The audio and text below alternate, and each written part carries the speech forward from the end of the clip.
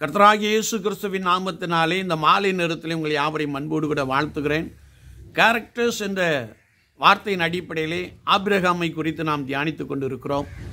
ஆதி ஆமத்தின் புஸ்தகம் பதினெட்டாம் அதிகாரம் முதலாம் வசனத்திலே நாம் வாசிக்கின்ற பொழுது ஆபிரகாம் தன்னை நோக்கி கடந்து வருகிற மூன்று புருஷர்களை கண்டான்.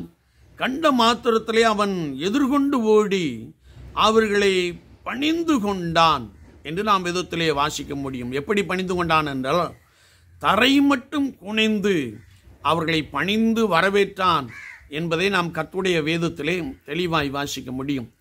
என்னை கேட்டுக்கொண்டு இருக்கிற என் அன்பு சகோதரனை சகோதரியே விசுவாச வாழ்க்கையிலே ஒருவேளை நமக்கு ஒரு பணிவு வேண்டும் அல்லது தாழ்மை வேண்டும் என்பதை குறித்து ஆபிரகாமுடைய வாழ்க்கையிலே நாம் தெளிவாய் அறிந்து கொள்ள முடியும். அது மாத்திரமல்ல அந்த மூன்று புருஷர்களுக்கும் அவன் தண்ணீர் வன் கொண்டு வந்து கொடுத்து நீங்கள் சற்று இழைப்பாருங்கள் உங்களுக்கு நான் ஒருவேளை உபசாரம் செய்யும்படியாய் நீங்கள் என்னிடத்தில் வந்திருக்கிறதை நான் அறிவேன் என்று சொல்லி மிகுந்த உற்சாகத்தோடு அவர்களை வரவேற்று அவர்களுக்கு ஒருவேளை மூன்று படி மாவை பிசைந்து அப்பம் சுட்டு அவர்களுக்கு கொளுத்த கண்டை அடித்து கொடுத்தான் என்று நாம் பரிசுத்த வேதாமத்திலே தெளிவாய் அறிந்து கொள்ள முடியும்.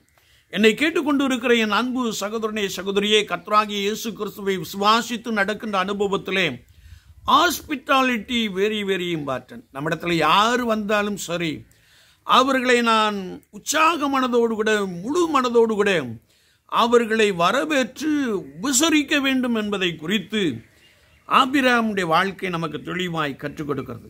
என்னை கேட்டுக்கொண்டிருக்கிற என் அன்பு தெய்வ ஜனமே ஒருவேளை நம்முடைய வாழ்க்கையிலே நான் நம்மிடத்திலே வருகிற எவராயிருந்தாலும் அந்நியராயிருந்தாலும் அவர்களை நான் உற்சாகமாய் வரவேற்று பணிவோடு கூட வரவேற்று அவருடைய தேவைகளை நாம் பூர்த்தி செய்கிற ஒரு நபராக காணப்படுகிறோமா?